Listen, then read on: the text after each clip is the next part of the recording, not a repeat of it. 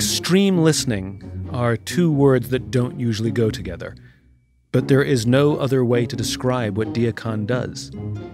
She made a documentary called White Right Meeting the Enemy, where she, as a Muslim woman, goes and spends time with white supremacists, trying to understand what makes them tick.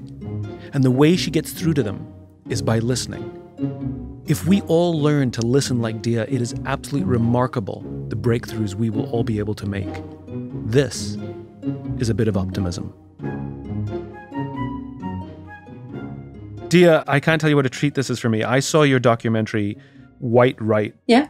when it first came out. Oh, wow. It struck me so hard how you were able to explore that human beings are basically human beings. Yeah. What I loved about it was you went for a dark subject and you found light.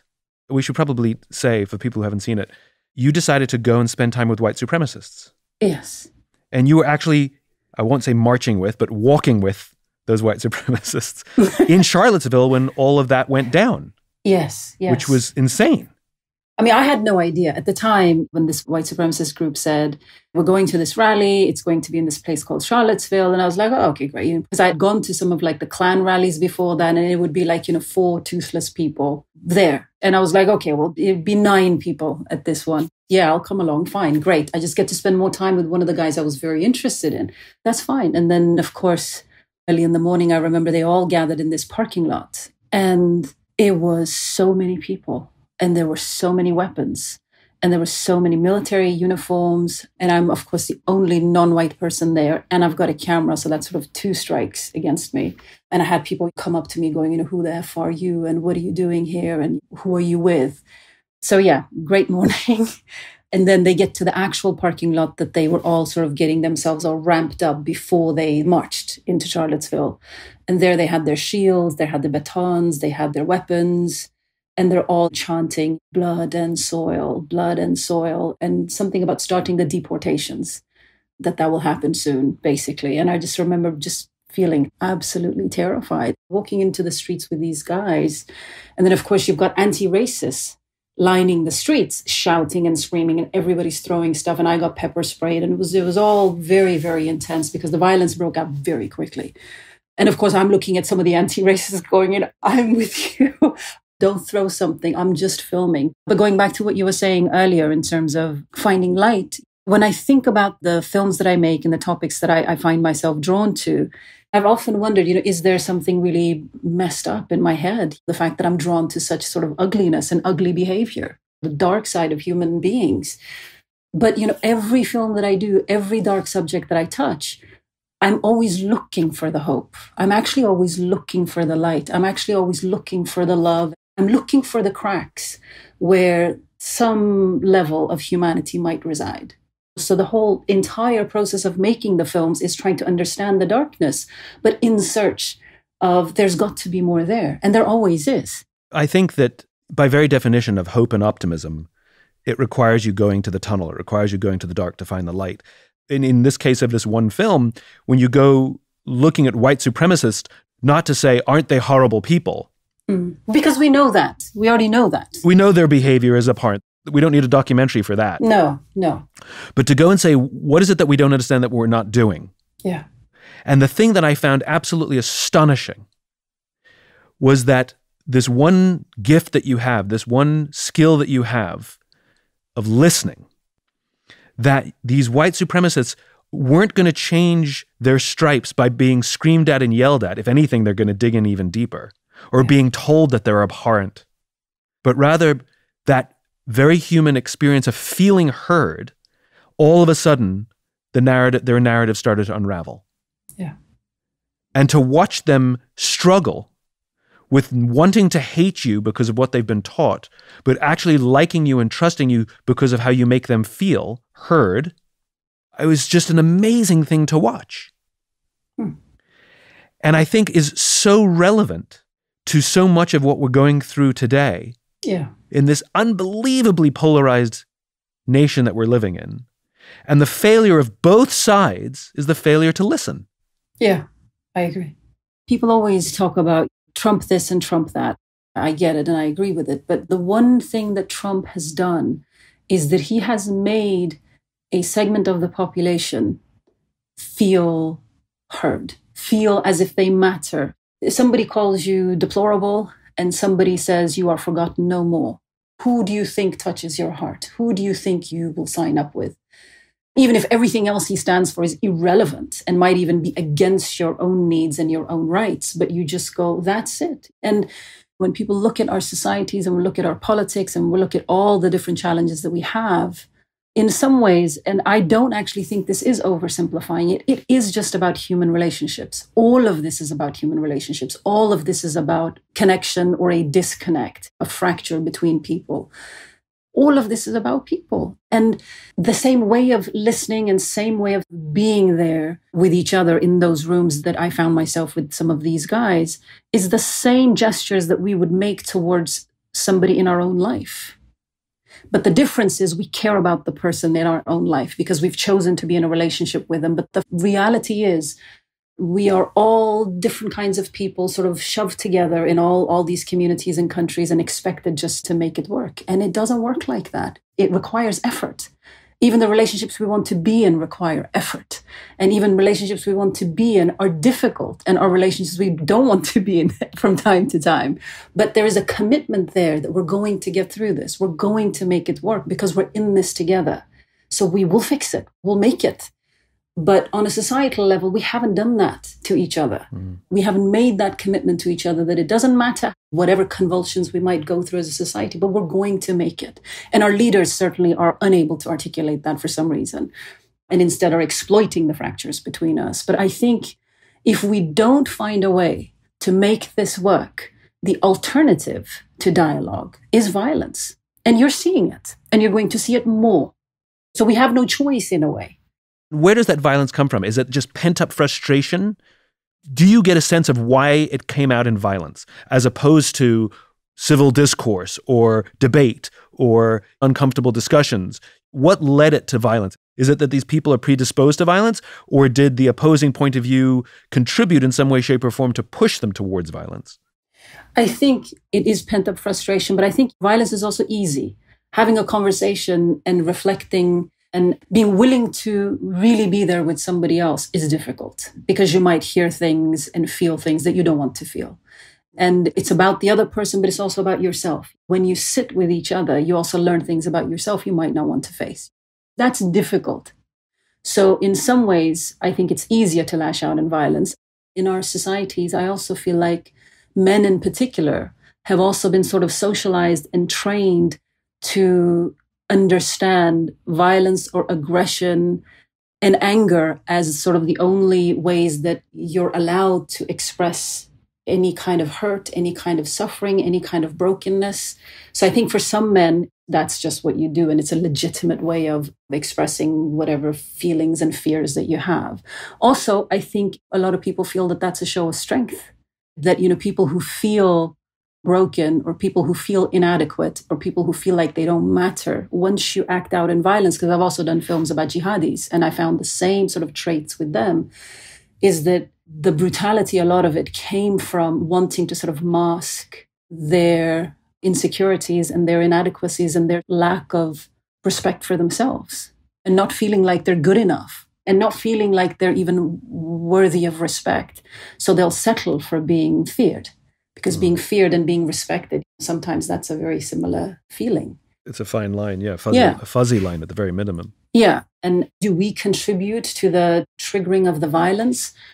I do think that when there is nothing but walls everywhere when everyone is hardened everyone's heart is hardened and there's no possibility there's no space there's no oxygen for anything else then in a way it also makes sense that that's the step that people move towards because they go, well, this is the only thing I have. And this is the only thing the other side also expects from me. There's such a great irony in all of this, isn't there? Because both sides accuse the other of being judgmental, completely yeah. missing the fact how much they judge. Yeah. Well, you know, what's really interesting to me is with very few exceptions, in our minds, everyone's the good guy. Everyone's the sort of hero right. in their own head. And most people who do awful things in their minds don't think that they're doing awful things. They think they're actually doing the right thing. They actually think they're doing the righteous thing. They are somehow defending something that is under attack. So they are on the side of right, not I'm the villain of the story. Very few people do reside in that too and, and take great pleasure in it, but that's very few people. Do you remember the movie Inglourious Basterds? Yes. I know the film. I haven't seen it, unfortunately. Christoph Waltz, an Austrian actor, plays the head Nazi. I mean, he's scarily good.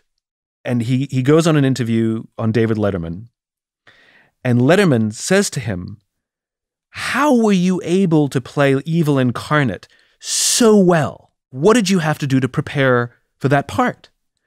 And Christoph Waltz doesn't understand the question.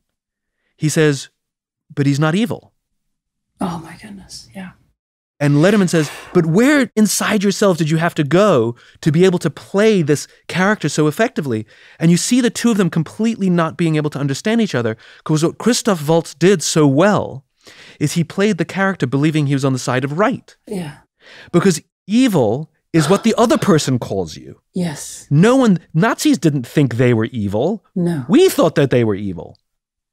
And what made him so scary is he wasn't an actor playing an evil guy. He was an actor pretending that he was on the side of right. And that's what made it horrific to watch. Wow. And it, you should now go watch the film. I will. I definitely, that gives me goosebumps. Yes. And to your point, evil is a judgment. Yeah. Everyone thinks they're on the side of good. Yeah. Empathetic listening. We don't have to even go so far as to say empathy. You don't have to have empathy, but empathetic listening is to show up not accusing the other person of being evil, but rather to try and understand where they're coming from. Exactly. And that was the whole purpose of making the film was exactly that.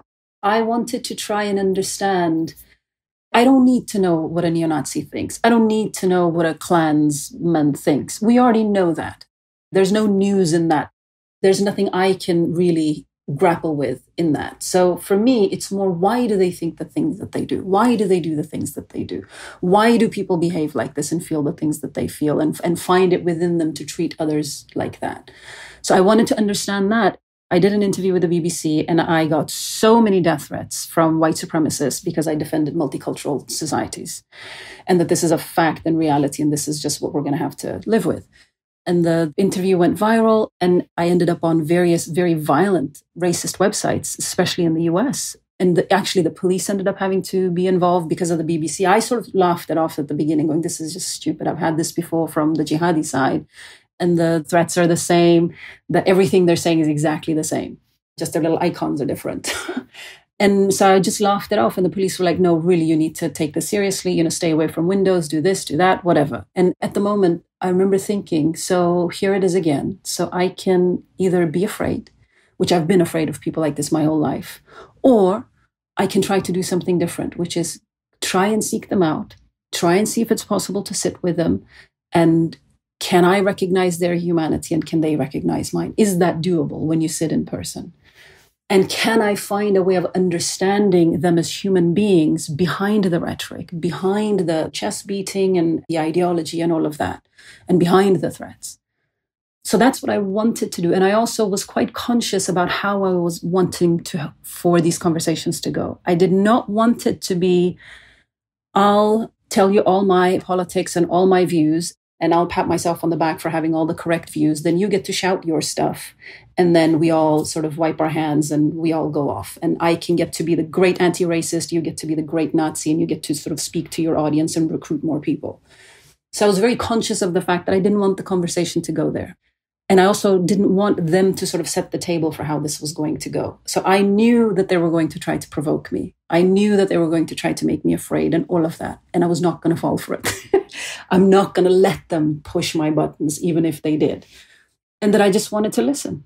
I'm just going to listen and I'm going to wait until the human being starts coming out. And the very first neo Nazi that I met with, he's the leader of the National Socialist Movement. It's the largest and one of the oldest neo Nazi organization, white supremacist organizations in America.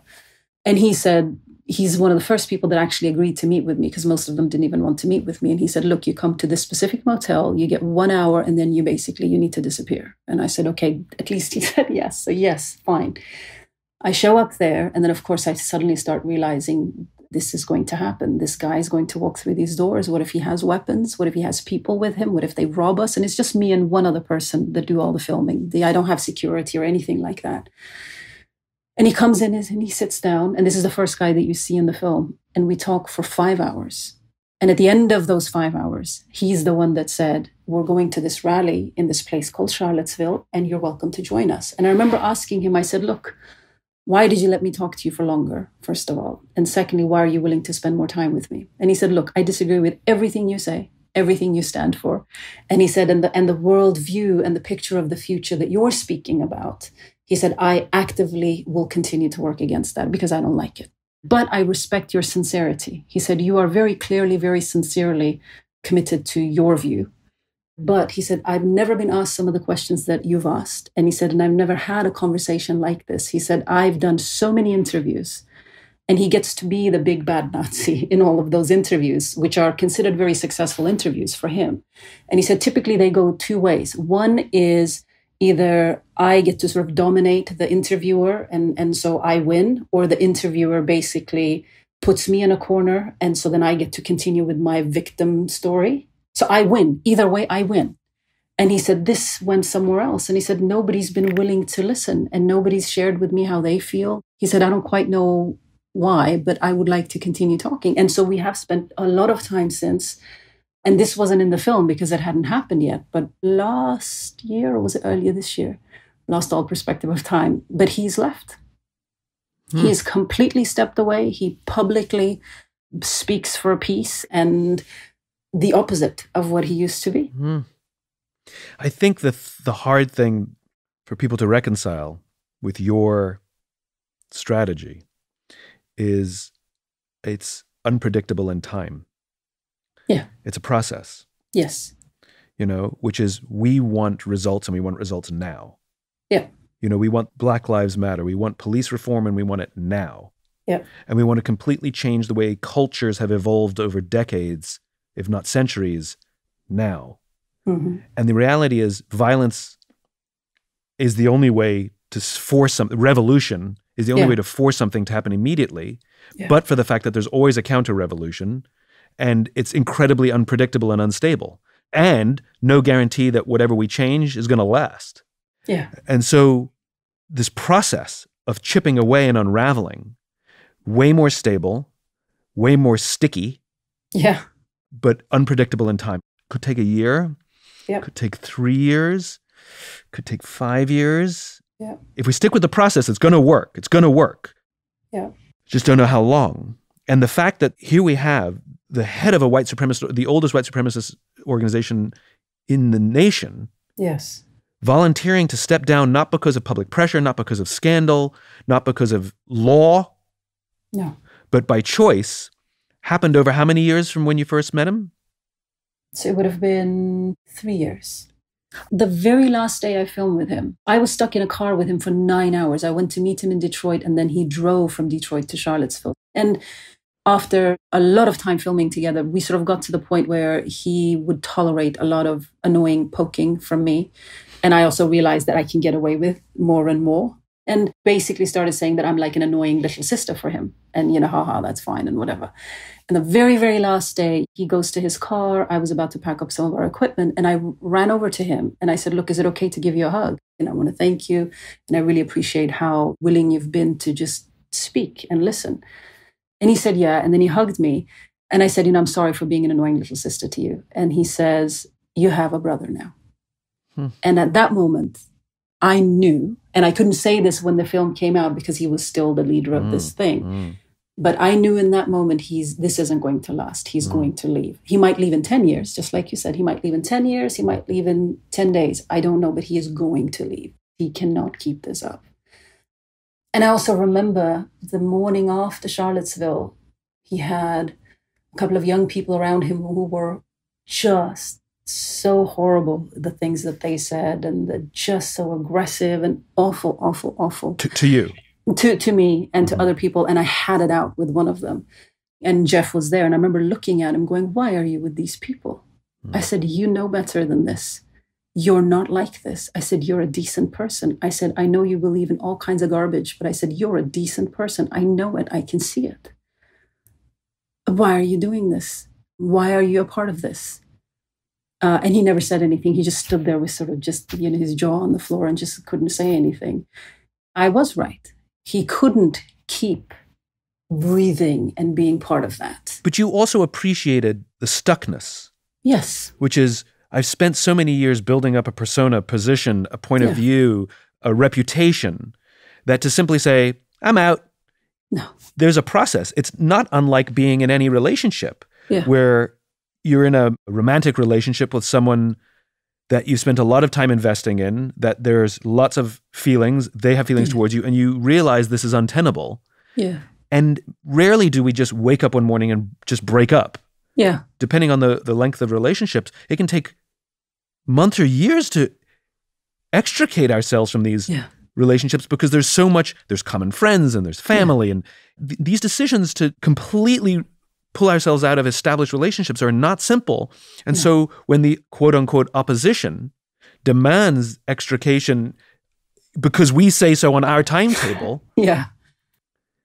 it fails to appreciate just the humanity and the difficulty of this Yeah. These guys that are part of these violent groups and part of extremist movements, their entire sense of self, their identity, their everything, their position in life, everything is bound up in that movement, in that ideology. Part of the trick of, of extremist movements and any kind of violent gangs is you are separated from your family. You are separated from your sort of original support system and community. And so that becomes your only brotherhood. It becomes your everything. Like you're saying, you know, your relationships are that. Your identity is that I am this feared, tough leader. All that stuff. And then suddenly, what do you do? And he still to this day struggles. And still, mm-hmm. you know, him and I are in touch to, with each other. And before he even came out, he's like, they're going to kill me. And they're going to kill me on both sides.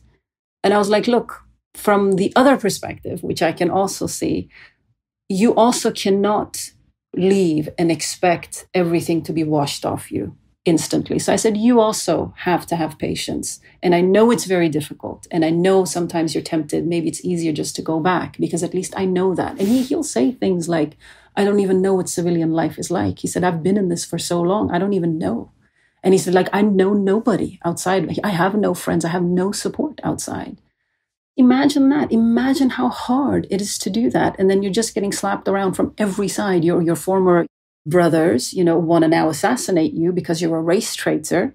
And then you've got the left saying, I don't believe you. Once a Nazi, always a Nazi, punch a Nazi, you know, all that whole thing. But to him, I said, I don't know what to tell you except you're going to have to hang in there and you have to do your time. You don't get to be forgiven in two seconds either, because the things that you did, the things that you inspired, and what you stood for has caused a lot of harm. And so just saying, I'm done and now hug me is not also a realistic expectation. You have to respect the hurt that you've caused. So now you do your time. And I said, and look, I'll try to be there for you, and others who can will try to be there for you. But you're going to have to hang in there yeah somehow. And it's easy to say that, and it's devastatingly difficult to be in his shoes because he really has nothing and nobody. this is the irony of belonging Yes. which is we all s- desperately seek to feel like we belong to something. Yes. And when we are, for whatever reason, marginalized, Yeah. we still seek belonging. Exactly. It's so, so true. When I did a film about jihadis, people were so kind of confused and also sort of bothered by me saying some of this. But I said, look, what, what I've learned from spending a couple of years with these guys, and, and mind you, I have nothing in common with them, I have no sympathy for their cause. There's no excusing what any of them believe, whether it's a white supremacist or that's not the point of trying to understand, is not to justify or excuse these beliefs or even to sympathize with it. Empathy is not the same as, you know, sympathy. It's just to try and understand it so that we, as the rest of society or as individuals, can be more effective in doing something about it. So when I spent these, you know, several years with the jihadis, what I came to understand, this is when ISIS was just kind of, you know, getting really big around whenever it was 2013, something like that, 14 And people were saying, oh, they're driven by hate and oh my goodness, and they're just so evil and they're just these monsters and my goodness. And this word belonging kept coming back. Also, this warmth. I said to people that they're actually not driven by hate, they're actually driven by love. And I know that makes no sense to people when we talk about, you know, guys who go and behead journalists. So I, I get that, but that's still the truth. The majority of them were driven by love. People who didn't have fathers, who didn't have love in their own homes, who were rejected by everybody, rejected by other brown people, other black people, other white people, by every by, by women, by everybody. And then they find this group that says, Hey, you're one of us. They put their arm around you and say, It's okay. You're okay and I'm with you and it's going to be okay. And so the loyalty, that's why the kind of grooming process or the radicalization process takes quite a while. You know, these groups spent hundreds of hours on recruiting just one kid. How much time do we spend with a kid that's struggling? So we're up against a pretty tough, well machined, very human centric, bizarrely movements how good must that make you feel that somebody takes that much time to talk to you and to try to understand you and to try to be with you in your difficulties and try to talk through whatever struggles you're having in your life so the sense of loyalty and mm-hmm. love that that builds between that recruit and whoever his recruiter is is unbreakable if that guy then asks this young person to go blow themselves up or to go do something many of them, not all of them, but many of them go and do horrible, horrible things for the mm love of that person. And I witnessed this. I had a very strange experience myself. I met with this young woman in the UK who was having a very difficult time. And I, I, was just nice to her. And I just listened to her and was supportive to her whenever I was able to. She'd had a horrible, horrible, horrible, violent upbringing. And I remember we sat on this train back to London at one point and i told her this. I said you know i'm working on this film you know and these guys that build this loyalty and then they go and they do horrible things and whatever. And they do it for these kind of leaders and whatever. And she looks me dead in the in the face and she said i would do that for you. And i said well, what? And she said i would i would go kill or be killed for you. Just because you've shown me love just because you've been nice to me just because you were there for me when i needed somebody you know and i remember when i sat with the jihadis they would say you know i've been discriminated against. I've been this. I felt like this. I felt like an outsider. I felt broken. I felt oh, long long long laundry list. And i remember finding myself sitting there going yeah me too. Wow. Yeah i i felt like that. I went through that. I went through wow okay. And then i would always be left with a question well what is it then if all our experiences are pretty much the same? And then i'm a woman on top of it so i've had to deal with all of that stuff too what is it that makes me pick up a camera and you pick up a gun? What is that? What's the difference then? And the only difference that I can sort of identify is who is it that shows up in your life at your most broken, at your most vulnerable, willing to listen, willing to be there for you. Who recruited you is the difference. Exactly. Exactly. So is it somebody that wishes me well and that wants me to flourish and grow as a human being? Or is it somebody who takes my pain and manipulates that and winds that up towards their own political gain. That's the difference. We have to point this out, which is a big difference. And these organizations are so good at this, as you said, their survival has been built upon it. Yeah. The Al Qaeda recruiting magazine was called Inspire, yeah. which is when these young, disaffected children in the slums of Paris or wherever yeah. are online talking to somebody. They think they're talking to the same person, but because it's a machine, it's a team of people who are who are yes. available at all hours of the night to talk yes. to this kid whenever he or she is ready to talk. Yeah. In other words, it's not necessarily somebody who really cares no, about it's not me. somebody who cares. No. It's a machine of people who are there trying to recruit me yes. for political gains. Yes. If there's quote unquote evil anywhere, that is it. It's at the high levels of these organizations yes, yes. where people with political motives yes. know exactly how to manipulate yes broken people. And, and when I say broken, by the way, I mean all of us. Yes. You yes. know, yes. Dis- disaffected, disenchanted.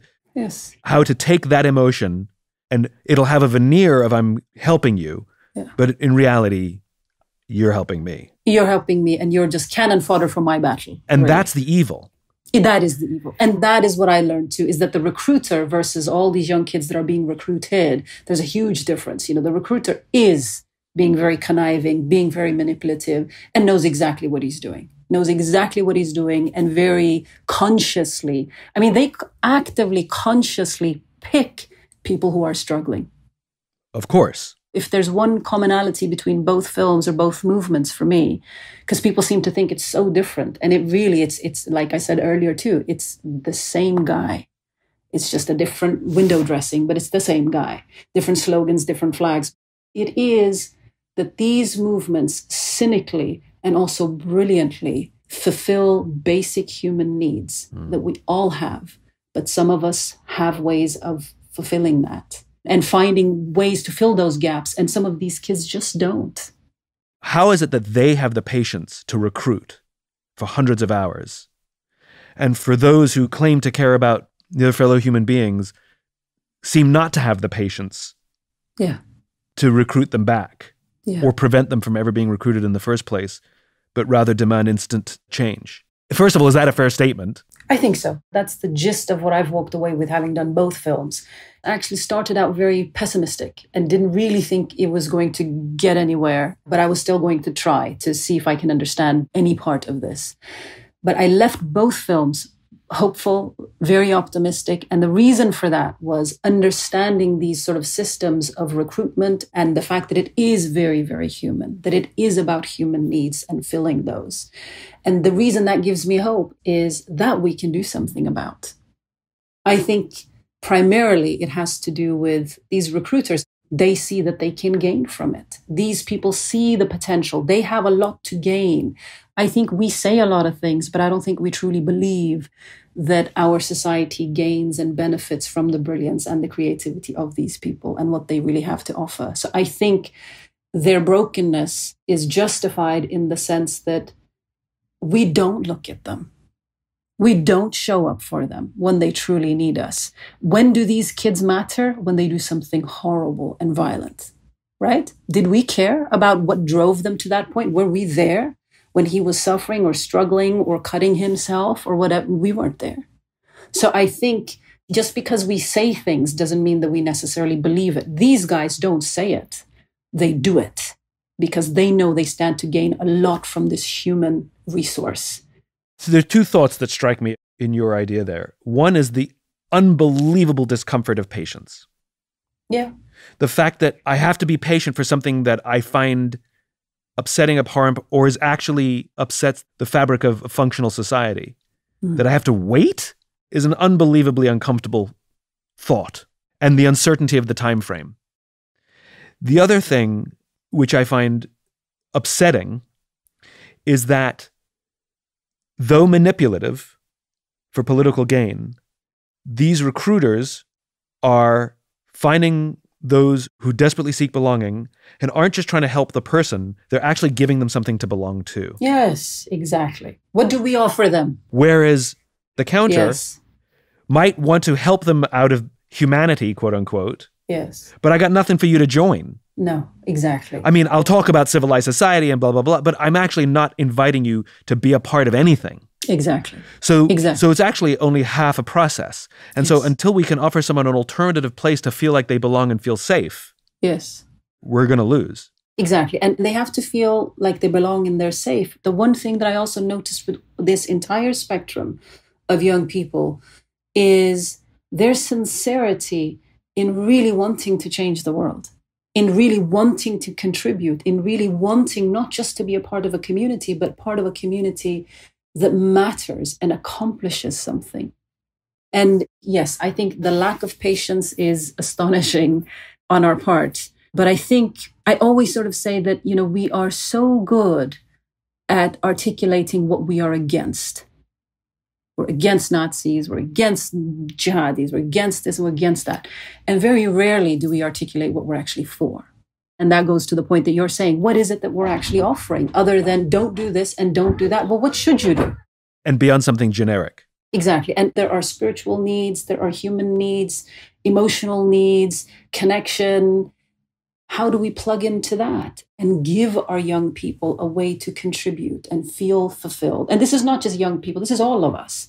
When you look at all these groups, they offer belonging, they offer a sense of purpose, they offer an identity, And something affirmative. It's not just being against, it's also being for. They are only about what they're for, pretty Only much. Only about what they're for. That's the difference. This is another great irony, right? It is. Which is these extremist groups that we find abhorrent are for something, Yes, but those of us who think we're on the side of quote unquote good, we're against them. against them. So, so again, they're setting the table, actually, not us, right? Because the white supremacist, their first sort of few lines of what they think or, or why they're associated to this isn't, I hate all of you who are different from me.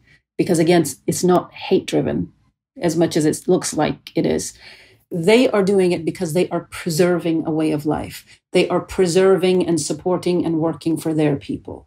They are for that. The jihadis are working to protect and do something about the suffering and struggling Muslims in all different lands. But you realize you raise a very uncomfortable observation here, which is we're sitting in a Black Lives Matter movement Yeah. of which a large part of the definition is anti racist. It's against. But is it? It's a question. I'm raising it as a question. I am an anti racist.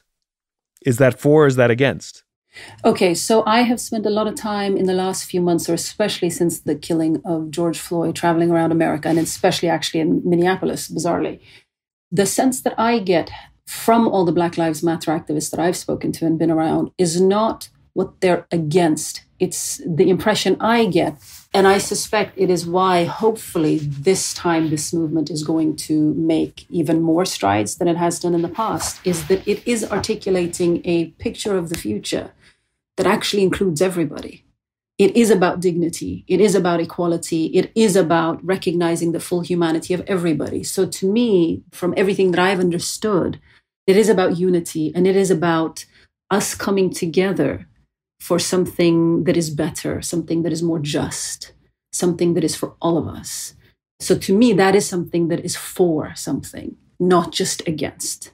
You know, language is a tricky thing, Yes. and words have power. Yeah. And when we have the words of anti or against, it reinforces the division Yeah. rather than promoting the solution. Yeah. And I do think that that is a trap that, you know, a lot of us fall into when it comes to a wide variety of issues that are very important. But just because we sort of miscommunicate the actual essence of it. And it's also why every time I speak about extremism, whether it's the jihadi end or the other end, or gang violence for that matter, I do try to keep it as clear and as human as possible because that's actually really all it is. I find that academics and people that research this and have written hundreds of books about these types of issues for far longer than I've been around just overcomplicate it and make it something it's one of the reasons why i wanted to make both films is i wanted to get to the human beings and not just stay sort of in these abstract theories and these big big words that makes you feel hopeless it makes you feel there's nothing there to be done and certainly nothing for you to do in, in that picture. And to me, that takes all power, all solution, everything away from all of this. Whereas we can actually all do something about it. I'm reminded of a quote by James Carville, the Democratic operative, who said, The difference between Republicans and Democrats is Republicans want to win and Democrats want to be right. wow. Yeah. And I'm struck by the way you talk about the gentleman who ran the white supremacist organization, talking about it doesn't matter whether he's put in a corner and had a microphone turned off or whether he gets to dominate, he wins. He Yeah. thinks about it in binary Yeah. form. Yeah. Right? Yeah. Whereas on the left, it's I'm going to prove to you that you're wrong. Yeah. Yeah. So he doesn't actually show up to be right or wrong. He shows up to win, Exactly. Exactly. which I find very interesting. Whereas on the left, they show up to be right. Yeah. And it's very interesting how two people are going to have, now have a productive conversation Yeah. where one wants to win and one wants to be right. Good luck with that. Yeah. And, and both walk off with, okay, I, I got my part. We didn't really talk. I got to state my points and my talking points, and you get to state your talking points. right. And then we shake hands and we go, or we go off in a huff. And we both go back to our constituents and say, Did it. Didn't I do great? Mission accomplished. Did you see me? Exactly. Did you see the points I scored? Exactly. One scores points and one makes points. Exactly. exactly. And so what's accomplished? Nothing. Zippo, you know, you are one of the best listeners in the world. I don't know. Okay. For a Muslim woman to go and spend time with jihadis and white supremacists and listen. Yeah. It's not easy. So Tell us some of the things that you've learned that we can actually apply. Like, how do I listen to someone I have a visceral reaction to? I may have judgment and disgust and anger. How do I listen? Well, you first have to figure out why you're wanting to have that encounter. For me, the reason I listened, the reason that was the choice, is I want to understand them so that we can do better at countering them and having fewer of them around, right? And we can't do that until we can understand what makes them actually tick. So, how you listen is uncomfortable. There's no two ways about it. If you're going to sit with somebody that you have a viscerally just a negative reaction to, if you're wanting to listen because you're trying to understand, what I would suggest is the way it's been for me is I sit there and I allow for people to finish. I allow for people to empty whatever the stuff is. And once they've emptied, it's kind of like a rag has been wrung. And finally, then you can go, okay, whew, done. Now we can really speak. It takes time. There's that patience again. Yeah. Unfortunately, patience has to be a part of it. I think you have to know why you're doing it. Mean, you just have to sit in your discomfort. I'm sorry. It was ugly for me. It was very uncomfortable for me. And anytime I would start feeling frustrated or annoyed or angry, I would just have to keep that in check. Because again, if I was to lash out, I felt in my mind anyway at the time that I'm going to hand them what they're looking for. They want me to come off kind of center. They want me to lose my balance. And the minute I do that, it's back to them. Again, they get to define how this is going to go. And then the understanding part, we won't get to that because we'll just get frustrated. And, and, and I've lost it. I think if we don't listen, then we don't understand what makes somebody tick. We don't understand what value they actually can bring to you and what learning they can actually bring to you. There's no reason somebody else is going to listen to you if you're not willing to listen first. So I think in order to build a relationship of trust and build a relationship that's based on dignity and respect, somebody has to make that gesture first. And, and it's most likely not going to come from the neo Nazi first, right? So somebody has to take that step. And that's called leadership. Yeah. It's not the one who's at the top of the organization, it's the one who goes first. Yeah.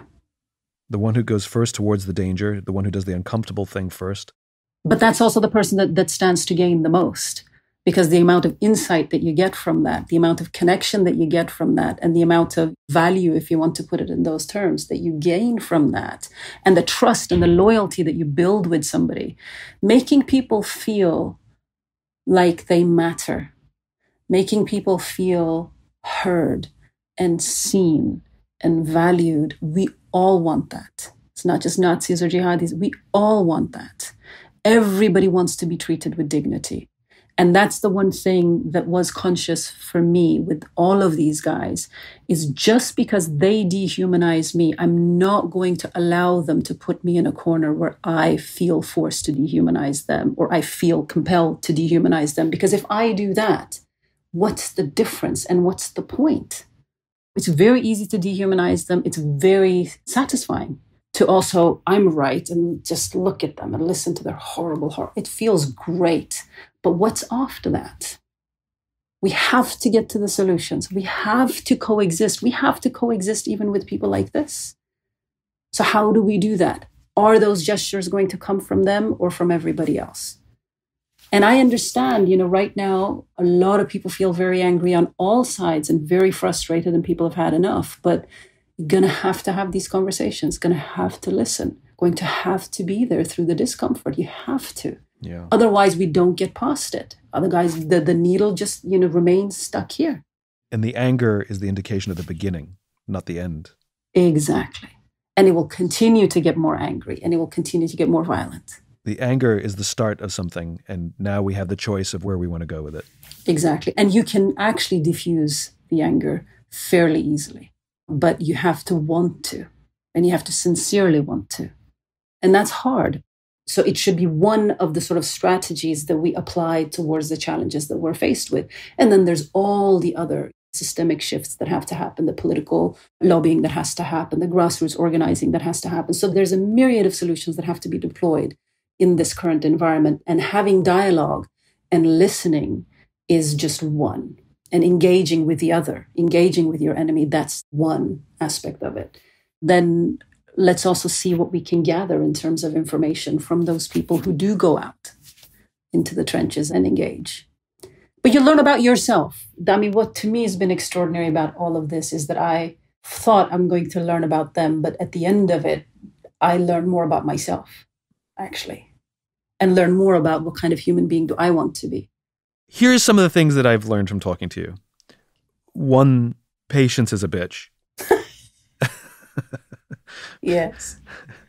I mean, like, oh, you know, like I have to keep doing this uncomfortable Yeah, thing. do I have know? to? Oh, Yeah. do I have to? It's just when will it end? I don't know. I have to just keep doing it. You know, it's like, oh, you know, anything worthwhile is difficult and requires patience. Whether it's getting healthy, getting in shape, you know, it's a lot of hard work and it's a lot of patience, and it's more about process Yes. than it is about an event.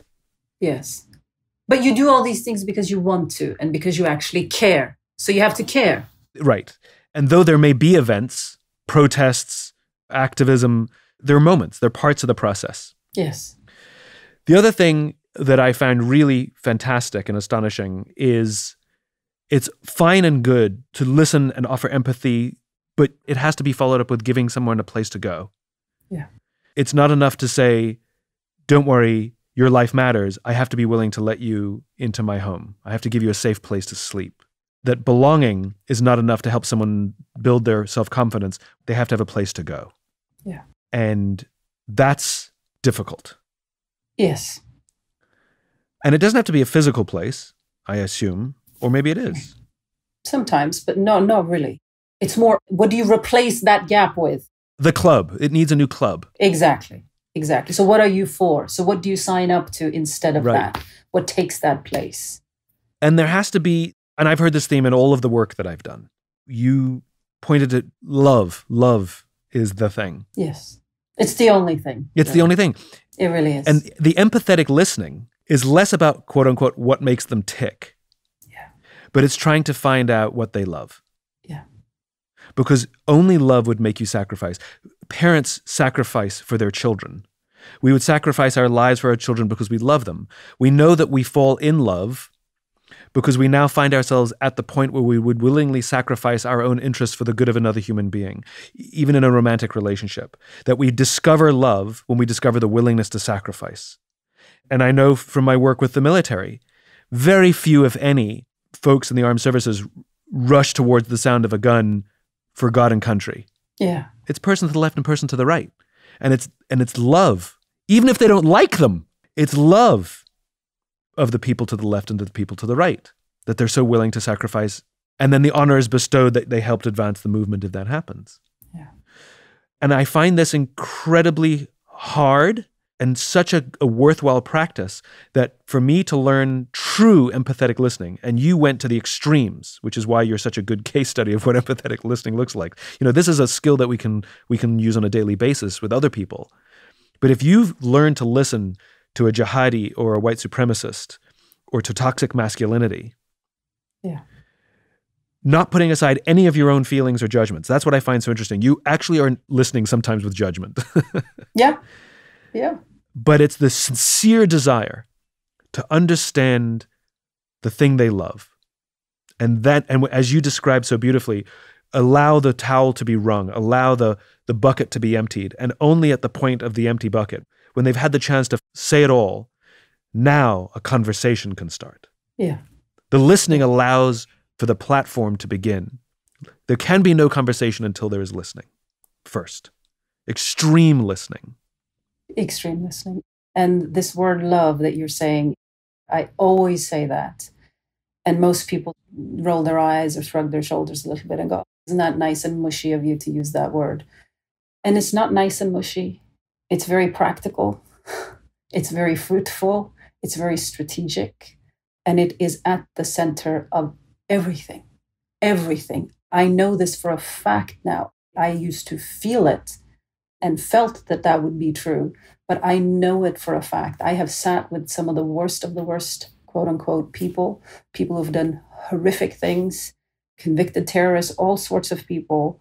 And really, it all always comes back to love. And the second they sense any feeling that even resembles that from you, they are willing to sit there in that discomfort with you. They are willing to sit there and put their entire life in your hands. I mean, I've sat with some of these guys and some of the things that they've shared with me and put in my hands. Even I've sat there going, shouldn't tell me this. You really shouldn't tell me this, you know, because whatever I don't know, I can't include. So don't. And they're like, no, I trust you. And so without love, truly there is nothing. Truly. It's not hate, it's love. Did you learn in all of this to love your enemy? Yes. I mean, I've become friends with many of them. I'm in touch with many of them. Many of them will probably stay with me till I take my last breath or they do. Yeah, I have learned to do that. One of them was being kicked out of the university that he went to because they found out what he does. And he also had the swastika and showed the big gun and stuff like that. And I wrote to them and I said, Look, you have to give him a chance. You cannot give up on people. He really needs to be in a place of learning. He really needs this he's not going to shoot up the school, but he might if he's got nothing less left to live for. We cannot give up on each other. We cannot give up on people. And most of these people have given up on themselves. Most of these people have given up on us. And so I refuse to do that. I refuse to do it. Doesn't matter how far gone somebody is, doesn't matter how ugly somebody's behavior is. I will try to stick it out for as long as I can bear it because that's what's needed, you know, and that's what we would need that's what you and I would need. When we break, that's what we need is that somebody doesn't give up on us, somebody doesn't turn their back on us, right? Deeyah Khan, you are an inspiration. And as you always do in all your work, we entered a dark place and came out to the light and found the light. I'm so grateful. Thank you so, so much. Thank you. I'm very grateful. Thank you so much.